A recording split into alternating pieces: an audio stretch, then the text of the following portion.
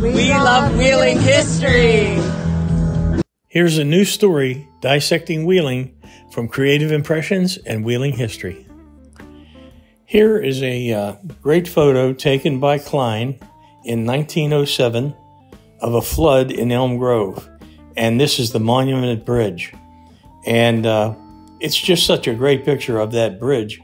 And that's being rebuilt uh, at the present time. Um, but what a nice picture.